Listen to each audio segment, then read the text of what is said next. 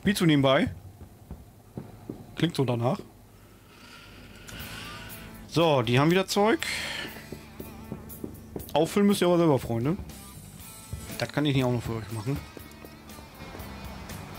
Ja gut, ne? Ist ja meistens auch ein V8. Das äh, hätte ich dir auch vorher sagen können. Wie ist das eigentlich? Müssen wir eigentlich auch Sprit nachher für den Van bezahlen, wenn der Fahrer damit fährt? Oder kostet uns das dann nichts?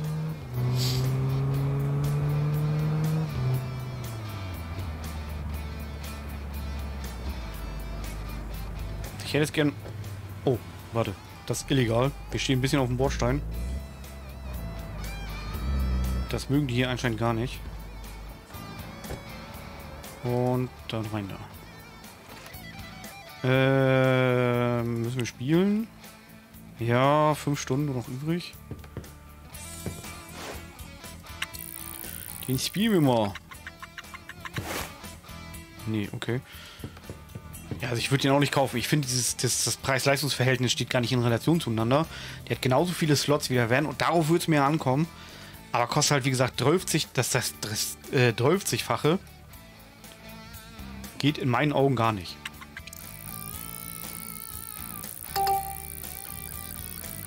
Yay, Tristan ist krank. Uh, wo arbeitet der Sack? Ich glaube im Café, ne? Ich guck mal. Kann ich das irgendwo sehen? Schnellrestaurant? Hotdogs. Schon wieder alle. Wieso sind denn die Hotdogs schon wieder alle? Ich hab doch erst 3000 dahin gebracht. Die verkaufen einfach noch viel mehr.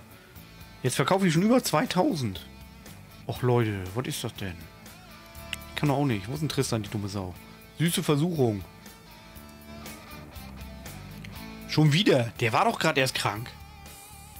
Wann muss denn der arbeiten? Um 13 Uhr. Okay. Dann müssen wieder um 13 Uhr anscheinend hin.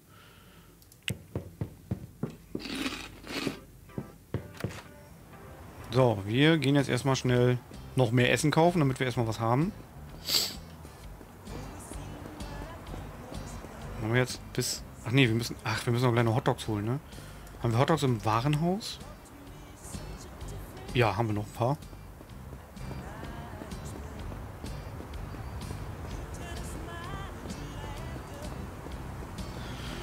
Ah, ich will einen Logistikmanager haben. Ich will nicht mehr selber alles liefern. Oh Mann. Spiel, mach doch mal jetzt.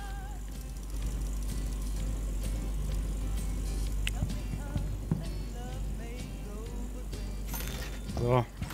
Weiter im Text. Wieder nach Hause und dann Hotdogs holen.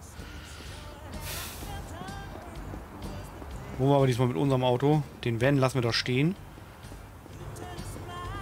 Bis der Kollege mal selber losfahren kann.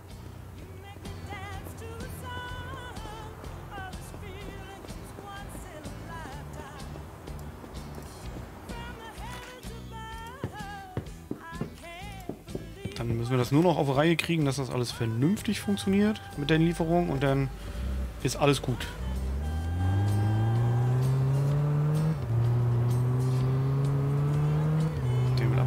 Schön.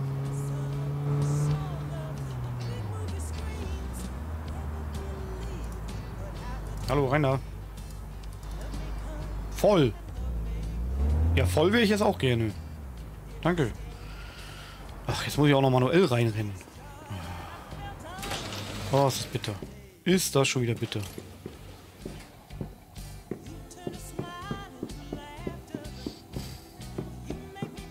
Hotdogs. Äh, zack.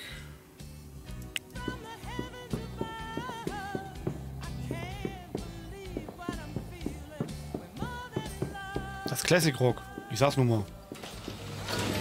Ich glaube, das stimmt aber nicht. Kann mir auch nicht helfen. Ich weiß nicht warum. Für mich ist das kein Classic Rock.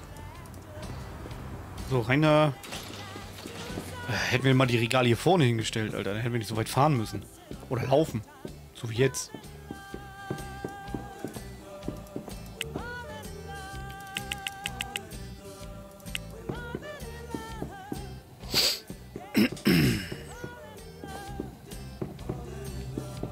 Man, ich glaube, wir verdienen im Moment Geld. Ja gut, wir bezahlen jetzt ja auch aktuell einmal, sag ich mal, um die 6000 für eine Lieferung, alle sieben Tage. Ich glaube, damit kann man schon arbeiten, ne? So, Vorsicht, ich komme.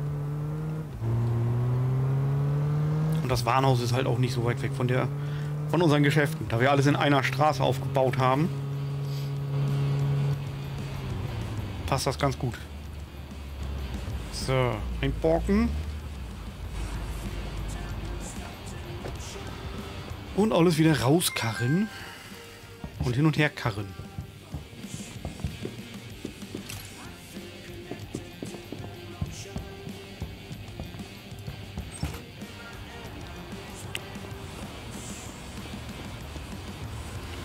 Äh, Hot Dogs. Hot Dogs. Jetzt machen wir gleich aber eine Pause. Wenn ich das aufgefüllt habe, machen wir eine Pause. Damit ich im Kopf auch wieder klarkomme, Alter. Ich merke so langsam, dass ich so... Äh. ne. Wie spät ist denn das überhaupt? 0 Uhr. Ach, geht ja eigentlich noch von der Uhrzeit. Das geht ja noch. Das ist ja nicht so lange. Nicht so schlimm vor allem. Äh, so, das ist drinnen. Jetzt müssen wir, glaube ich, nichts machen. Dann würde ich schon mal nach Hause fahren wieder. In meine Wohnung gehen und dann machen wir eine Pause. Hau ab da du mit deinem scheiß Pickup. Oh, tanken müssen wir auch bald wieder. Ich will am liebsten gar kein Auto mehr fahren. Alles automatisiert laufen lassen und dann einfach zusehen, wie die Kohle reinfließt. Ich glaube, das dauert noch. Paar Geschäfte müssen wir noch aufbauen. oh, doch. Jetzt hätte ich fast gesagt, das war's bestimmt du, der da gerade lang gefahren ist, ne?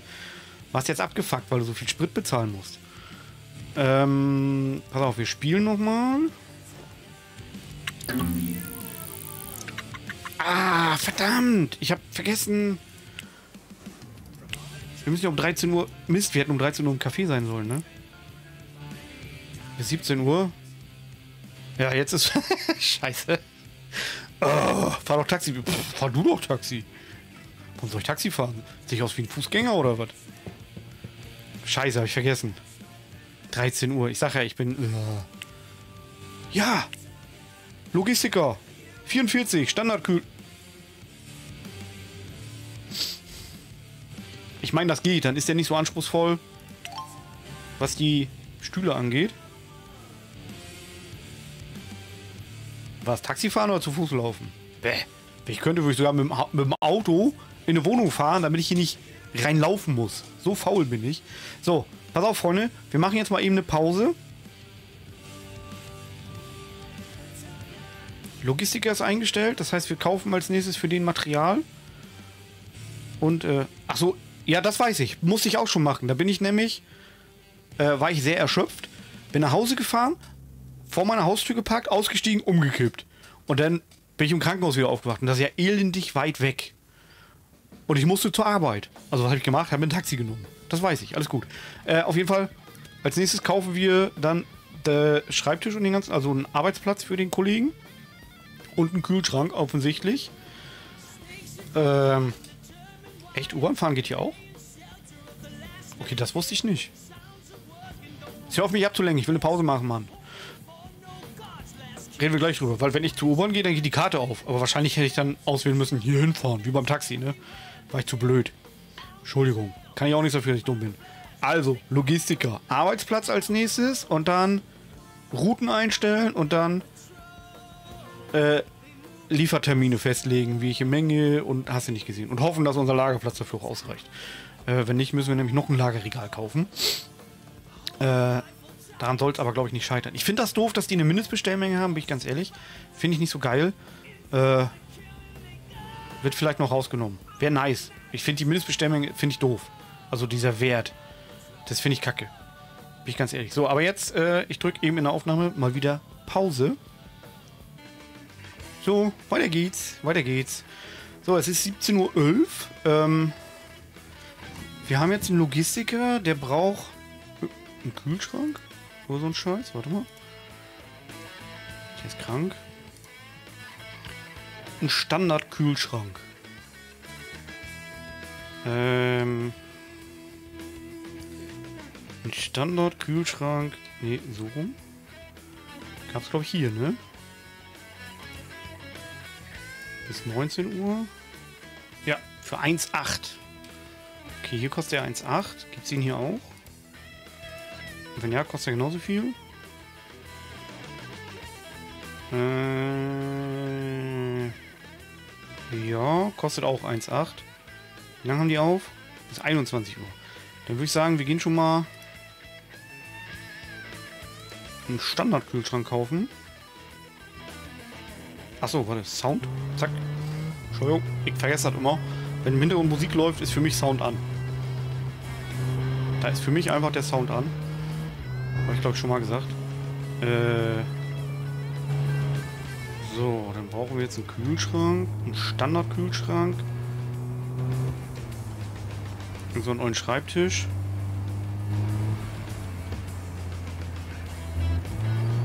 Ein Stuhl und ein Computer, ne?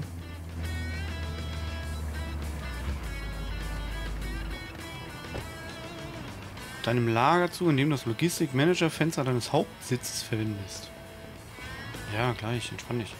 Entspann dich, Spiel. Alles wird gut. Alles wird gut. So.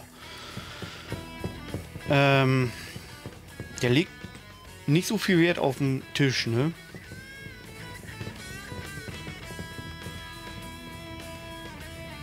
Dann nehmen wir einen Standardtisch. Und einen normalen Stuhl für ihn. Brauchen noch einen Computer und einen Kühlschrank. Standard Kühlschrank. Und ich sehe nichts mehr. Hallo? So rum. Wo war denn? Da war der Computer. Und ein Computer. So. Und dann können wir raus. Das bauen wir den dann gleich in die Hütte ein. Dann können wir den gleich zuweisen und alles fertig machen. Sind ja wieder nur 3000 Dollar, die wir hier loswerden. Wir müssen immer so viel investieren. Könnte ich fast kotzen bei.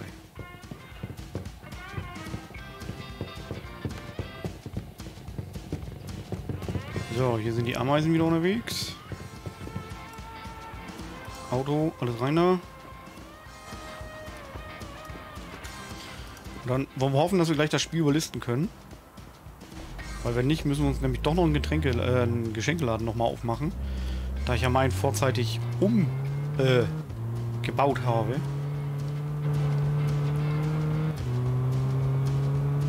Achtung, Vorsicht, hier komme ich. Ach du Scheiße, der Tank ist ja ganz schön leer. Ja, dann würde ich ja doch lieber erstmal tanken fahren. Ich sehe das gerade. 18% ist äh, nicht mehr so viel, ne?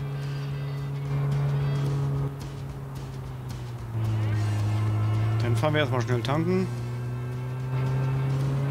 Dann zu unserem Büro, unserem Hauptsitz. Hauen ihn da eben das Büro hin und dann wird alles gut. Hoffe ich. So, voll tanken.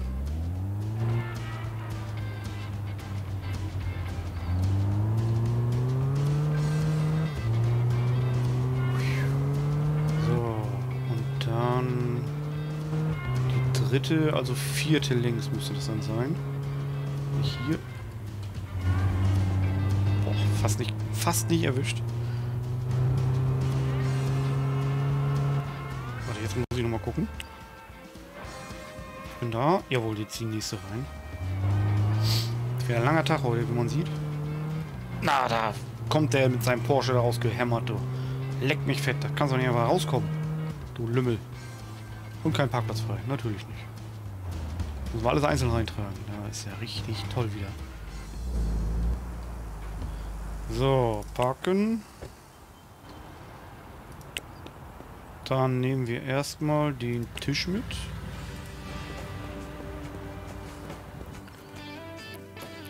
Plasieren den. Ähm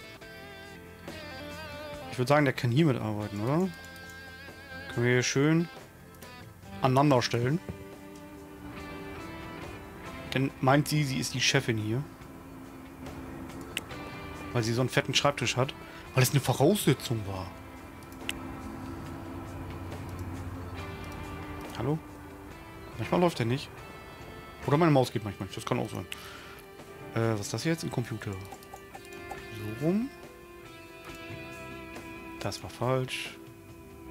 Dahin bitte. Stuhl und Kühlschrank noch. Stuhl.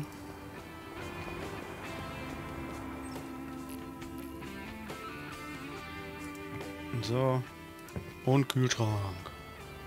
Dann können wir den Kollegen nämlich zuordnen.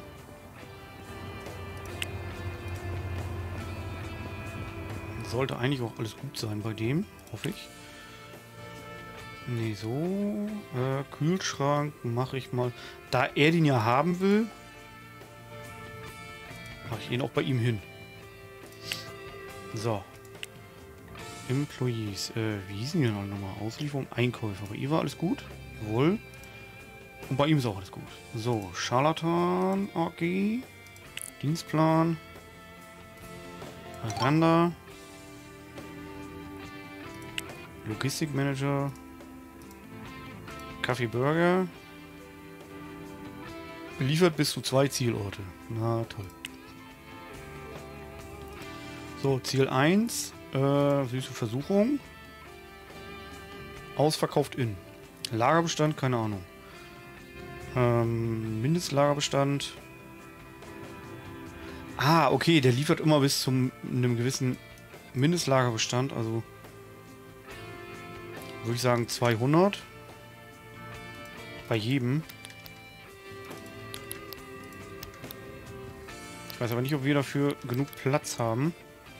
Aber müsste eigentlich, warte mal, da sind ja 100, 100 pro, ne, das sind 1000. Also machen wir hier auch, Mindestbestand ist immer 1000. Das ist ein Karton. Und das sind zwei Kartons, vier Kartons, sechs Kartons. Wir können aber 16 haben. Also 2, 4, 6, 7, 8. Äh.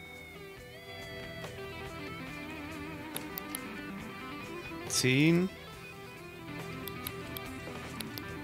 12. 14. Und Kaffee haben wir leider noch nicht zum Verkauf.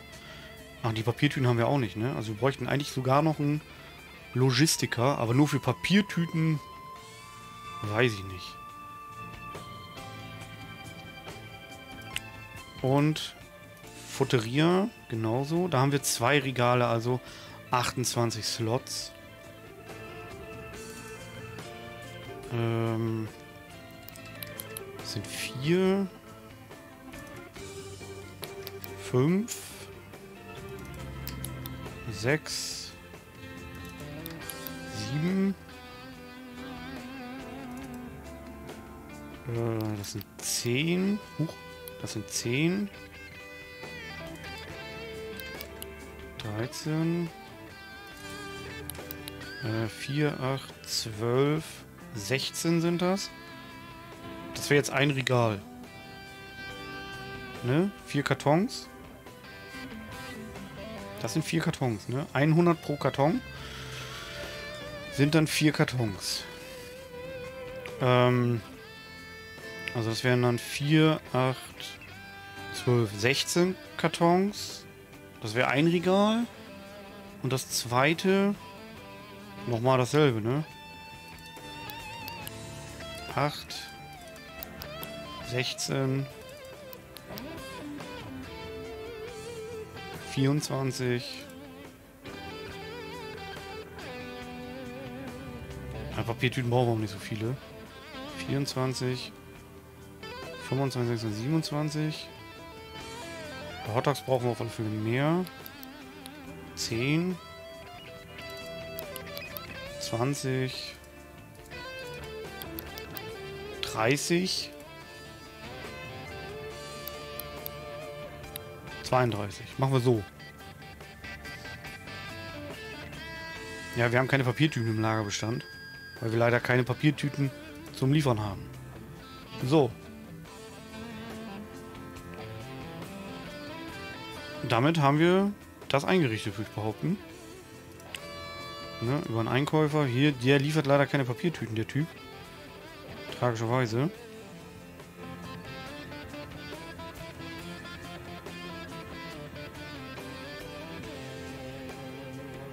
So, wenn wir das jetzt nochmal liefern, weiß ich immer noch nicht, ob wir genug Platz haben. Ich glaube aber nicht. Ja, weiß ich, weiß ich. Aber dafür müsste ich jetzt noch. Da müsste ich jetzt erstmal nur für Papiertüten müsste ich noch einen Einkäufer einstellen und einen Liefervertrag abschließen mit einer Mindestliefermenge im Wert von 2000 Dollar. Das heißt, ich müsste Papiertüten im Wert von 2000 Dollar bestellen. Das ist mir persönlich... Das ist mir nicht wert. Da würde ich dann lieber selber gucken, ähm, dass wir hier Papiertüten selber liefern erstmal. Deswegen mache ich die mal auf 0, dann braucht ihr die nicht liefern. Hallo? 0? Ich gesagt 0, du 0. So. Weil das ist, das ist mir nicht wert. Wie gesagt, wir haben unseren Geschenkeladen haben wir umgebaut.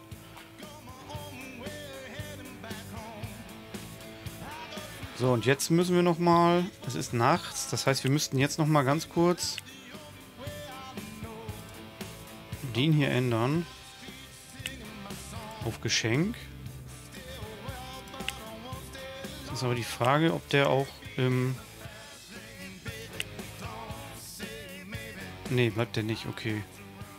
Äh, süße Versuchung. Und dann 200 und 100 auf Getränkedosen. 200 und 100 auf Getränkedosen. 200 und 100 auf Getränkedosen. Wo sind die denn? Oh, ich muss da ein Dingens reinstellen, ne? Anscheinend. Ach nee, nicht, nicht teures, ne? 200. Getränkedosen kann ich hier nicht machen, weil ich kein Dingens habe. Scheiße. Dann muss ich das ja erstmal machen. Ähm, was kostet so ein Kühler? Den würde ich dann erstmal kaufen.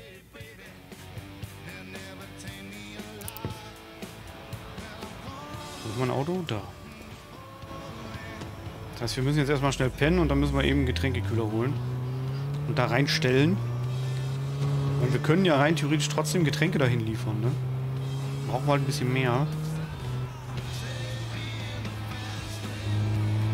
Kaffee reicht es ja nicht. Wir müssen jetzt äh, einmal das Spiel überlisten. Tragischerweise. Das heißt aber, wir müssen dann erstmal so ein Getränkeding kaufen. Machen wir bis da. Ja, wir mussten ja Geld ausgeben, ich weiß. So. Kaufen wir schnell so ein Getränketeil. Ich laufe da aber mal eben zu Fuß hin. Geht nur darum, dass wir den Haken da reinkriegen.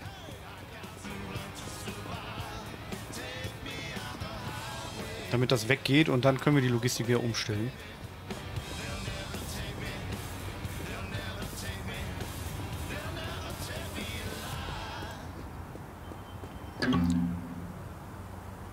Wann macht er auf? Ach, gleich. Okay, ich warte kurz. Ich warte kurz.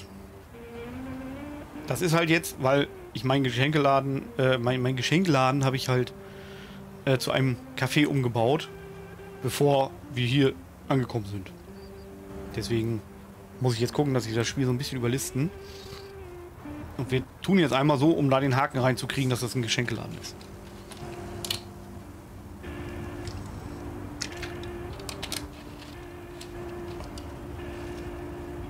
Aber Getränke können wir da eh verkaufen. Das macht gar nichts.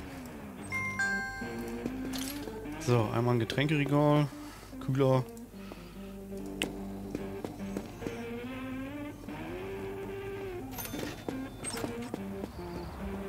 Den geben wir dann eben da ab.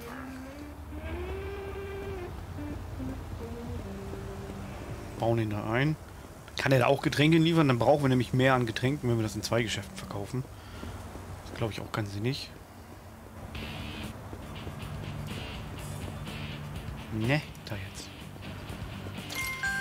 So, den platzieren.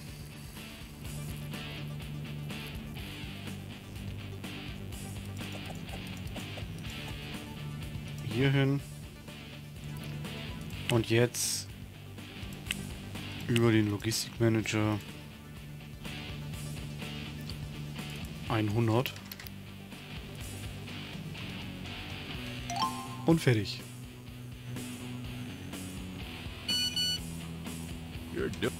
So, und jetzt ändern wir das einfach wieder zurück. Zack, gehen wir weg der Opa. Ach nee, warte, wir müssen erstmal das Geschäft wieder ändern.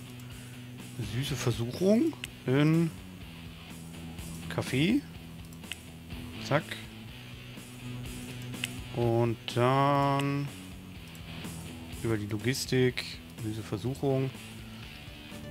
So, jetzt haben wir auch Getränke. Weiß nur noch nicht, wie viele. Wir haben 16 Slots. Ähm, 2, 3, 4. 4, 8, 12, 16. Am meisten gehen Donuts. Davon würde ich 500 nehmen. Also 5.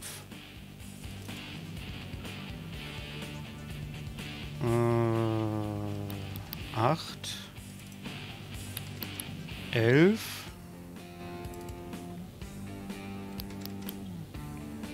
12, 13, 14. 15. 16, 4, 8. 19, 11, 16, jawohl. Und das hier passt alles noch, ne? Jawohl. Jeweils 1000. Jetzt müssen wir den Scheiß nur bestellen.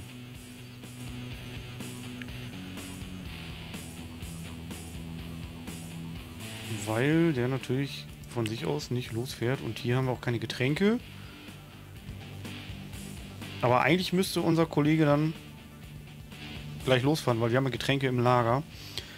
Das heißt, wir bestellen jetzt einmal über einen Einkäufer.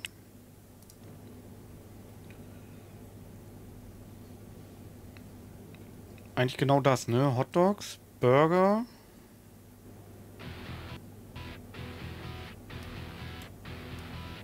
Hotdogs, Burger, Croissants, Getränke, Donuts, Cupcakes.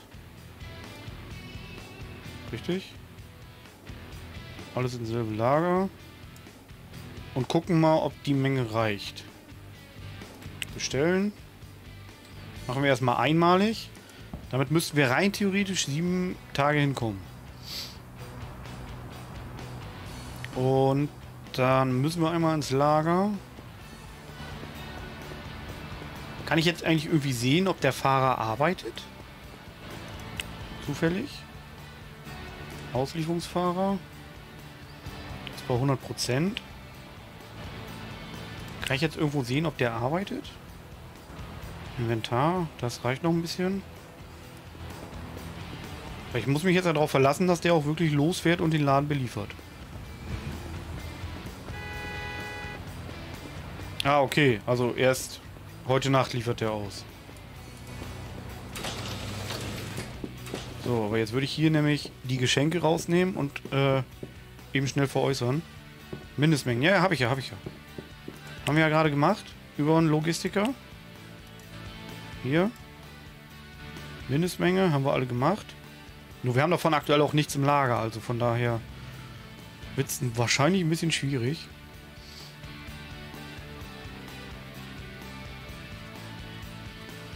Ähm, geht aber. Papiertüten müssen wir dann halt selber bei Gelegenheit auf, ausliefern. Jetzt würde ich aber die hier verkaufen wir jetzt, damit wir hier Platz haben, weil die brauchen wir nicht. Haben wir jetzt erstmal das Spiel einmal ein bisschen ausgetrickst, damit wir weiterkommen. So, und weg damit. So, und jetzt müssen wir quasi auf eine Lieferung warten. Gut, dass die jetzt noch keine Getränkedosen haben, das macht nichts. Bestellung ist raus. Und jetzt können wir eigentlich warten, dass der ausliefert, ne? Und wir brauchen nichts zu tun. Wir müssten jetzt halt zugucken, dass die Kohle reinkommt. Und sobald hier aufploppt, dass wir von irgendwas zu wenig haben, äh, müssen wir dann halt die Logistik ein bisschen anpassen und die Bestellung, ne? Einen täglichen Gewinn von 3000. Ich weiß halt nicht, wo sind wir denn gerade gewinntechnisch? Ist das, ein, ist das das durchschnittliche Tages